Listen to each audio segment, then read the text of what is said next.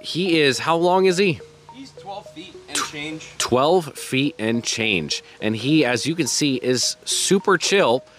Even though he's super chill, that does not mean that he is not dangerous. He is still a freaking alligator.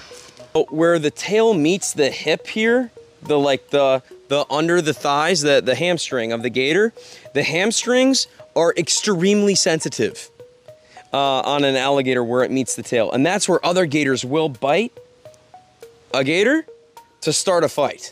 So when you touch the tail, touching it back there is not a big deal. Touching it in the middle might get his attention or irritate him a little, depending on how he's feeling today.